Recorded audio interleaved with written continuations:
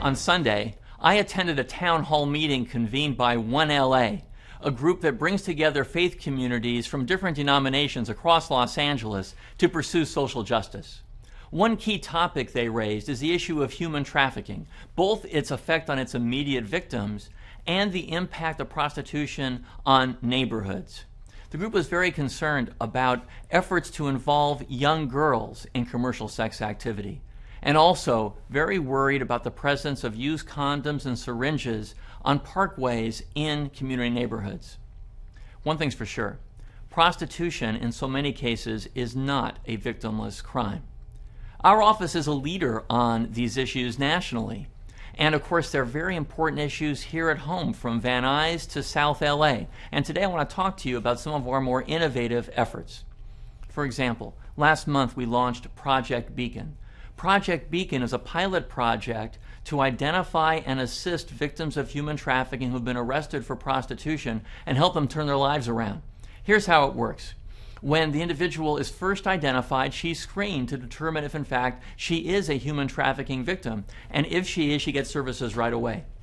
But even if she's not, we're going to offer her an eight session diversion program instead of traditional prosecution. And that program will be complemented with an array of services provided by nonprofit organizations, all designed to help her escape the sex trade. Um, if she completes the eight session program, we won't prosecute. We're going to be evaluating the outcomes of Project Beacon, and if it is successful, as we hope it is, in breaking a cycle that simply leads women to return to the street, then we hope to expand it.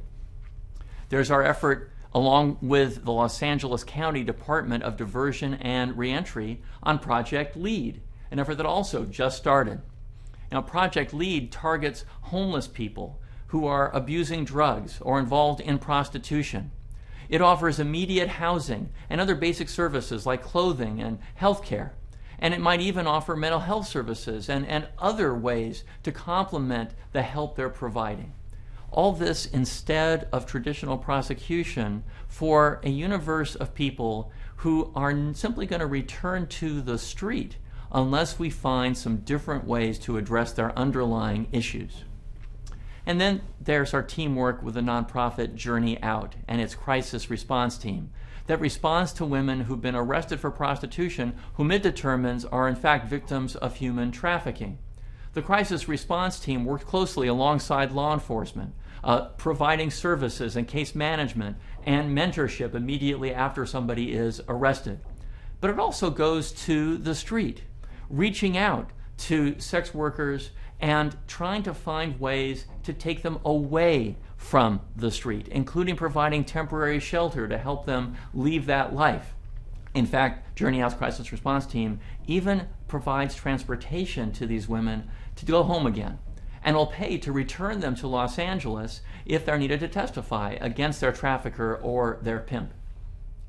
All these innovative efforts, combined with our neighborhood prosecutor program's efforts on the streets to clean up neighborhoods where prostitution occurs, make us a real leader in the country on these issues. I'm Mike Feuer, the Los Angeles City Attorney. Thanks for watching.